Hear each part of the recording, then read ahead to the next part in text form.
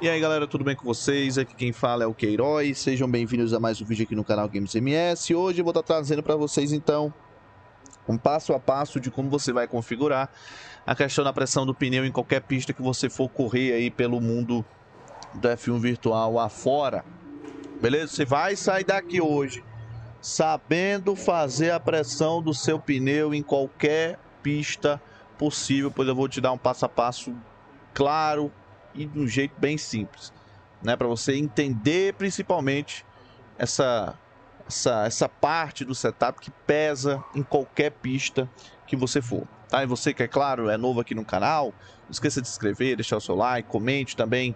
Esse tipo de conteúdo aqui é bacana para você, você gosta de aprender a base do setup, então aqui você aprende todo dia alguma coisa nova. Óbvio que tem vídeo de dica, né? Tem campeonato aqui também para você se divertir junto com a gente. E claro, não esqueça de me seguir nas redes sociais, tem tudo na descrição do vídeo. Também passar pelos nossos patrocinadores, né? Equipe CRT, o Instagram está aí na descrição, juntamente com o contato da JK Streaming TV, contato da Kellen, também por apenas 30 reais você tem acesso a canal de esporte, série, filme. Vale muito a pena você falar com ela também por um precinho camarada, né? Então vamos lá. Primeiro, gente, antes de você aprender a mexer no setup da questão da pressão do pneu, é necessário que você saiba qual é o pneu que mais gasta na pista que você irá fazer isso, tá? Então, como é que eu sei, Queiroz, qual é o pneu que mais gasta na pista? Primeira coisa, você vai botar o seu setup e você vai botar a pressão do pneu igual, tá? Igual. Por exemplo, ah, Queiroz, vou testar com tudo seco, vou testar com três cliques, vou testar, enfim. Você que vai decidir e você que vai colocar a mesma pressão na frente e atrás, se vai dar umas 6, 7 voltas e ver qual é o pneu que mais tem desgaste na pista, né? Se é o pneu dianteiro, se é o pneu traseiro, ponto. Beleza? Descobriu qual é o pneu que mais gasta? Agora nós vamos para o tutorial, tá? Se o pneu que mais sofre na pista. Por exemplo, Japão é uma pista onde o pneu dianteiro é o que se desgasta mais, tá? Então, se o pneu dianteiro ele é o que desgasta mais, você não pode dar, em hipótese alguma, mais pressão para esse pneu, tá? Ai, Queiroz, eu gosto de correr com 8 cliques de pressão. Se você gosta de correr com 8 cliques de pressão, meu filho, você tem que ter noção de uma coisa. O pneu ele vai tender a pegar mais temperatura, né? Eu, por exemplo, tá aí, ó, um conteúdo pago que eu vou dar de graça para vocês agora. Quando a pista está na situação seca, eu não utilizo mais do que 5 cliques. Não. O pessoal fala, né? Pô, mas aí, aí também, Queiroz, se desgasta muito pneu, né? Ai, Queiroz, tu, meu irmão, o pneu não superaquecendo, a questão do desgaste é uma variável que vai para segundo plano, tá? O interessante é, óbvio, nesse jogo aqui é interessante você sempre tá com o pneu novo, tá?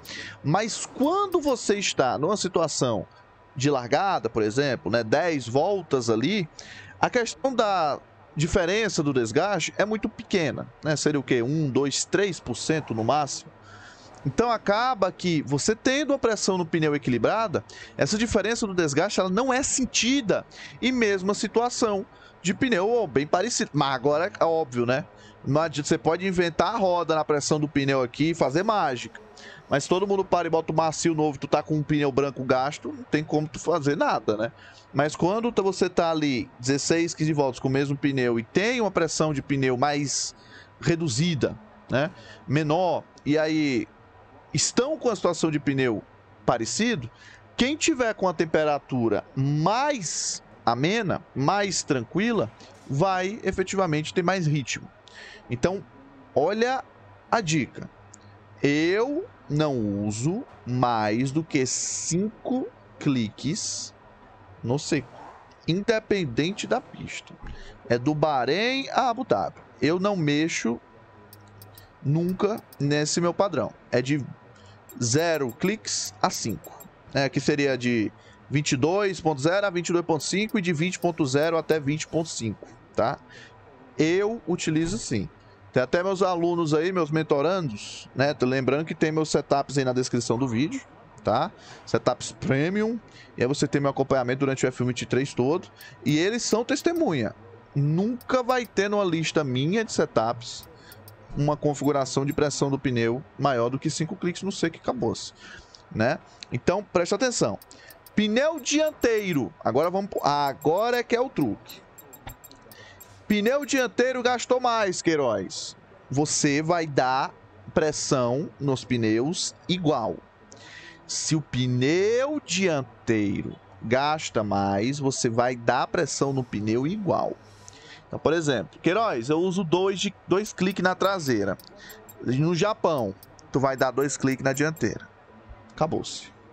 Queiroz, essa pista aqui eu uso quatro na frente, então tem que usar quatro atrás. Quatro na frente, quatro atrás. Isso quando o pneu dianteiro desgastar mais. Queiroz, pneu traseiro está gastando mais nessa pista. O que é que eu faço? Quando o pneu traseiro desgastar mais que o pneu dianteiro, você vai dar mais pressão na frente do que atrás.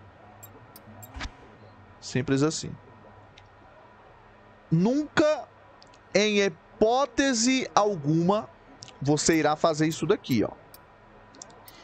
Seca atrás, quatro na frente. Porque isso aqui irá desequilibrar o seu carro, tá? Eu não faço. Eu não faço. A minha diferença de pressão do pneu de um para outro é dois no máximo tá? Ou 1, um, ou igual. E sempre variando entre 22, na verdade, né? Entre 0 cliques seco ou 5 cliques. No máximo, estourando. Eu sou um cara que eu consumo muito pneu. Então acaba que se eu gasto pneu e ainda dou temperatura a ele, eu vou ter muita dificuldade na corrida, cara. Meu ritmo vai durar 3, 4 voltas. A partir da quinta volta vai ser um calvário. Então, para evitar que eu tenha dois agravantes, a minha pressão no pneu é sempre muito reduzida. E eu tenho certeza que se você tem dúvida com questão de pressão do pneu, esse vídeo aqui é esclarecedor. De novo, pista onde o pneu dianteiro gasta mais que o traseiro, de 0 a 5 cliques e a pressão do pneu igual. Uma pressão no pneu traseiro, uma no dianteiro. Treino dianteiro, treino traseiro. 5 no traseiro, 5 no dianteiro. Acabou-se. Isso é quando a pista desgastar mais o pneu dianteiro.